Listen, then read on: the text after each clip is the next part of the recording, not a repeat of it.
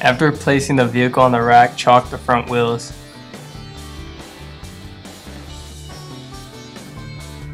Then lift the vehicle.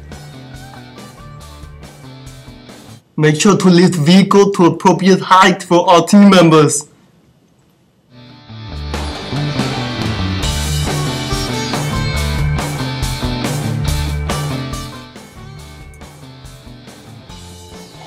When lifting the vehicle on the light rack, make sure the arms are in safe position to ensure the vehicle stays on the rack.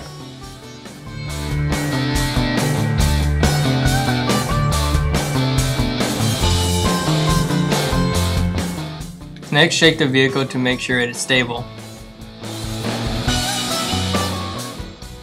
We will be measuring the angle of the rear U-joint, the front U-joint,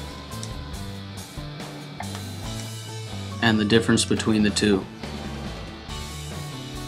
Measure the angle of the rear differential with U-joint vertical. In this case, the angle is 7 degrees.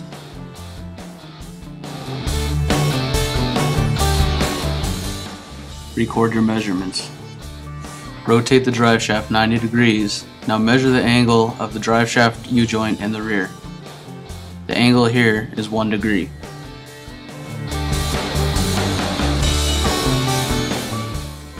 Difference between the two angles is 5 degrees. Measure the angle of the U-joint from the transmission. The angle here is 8 degrees.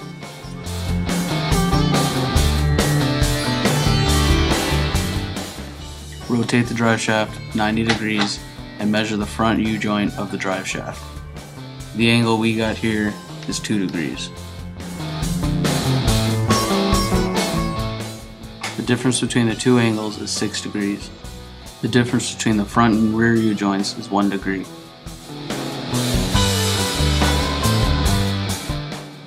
Now carefully lower the rear of the vehicle back onto the rack.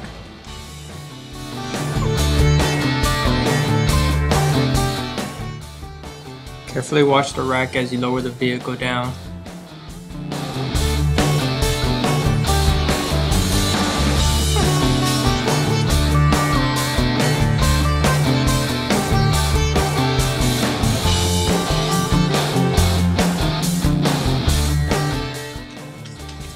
Take the wheel chocks out from the front of the wheels.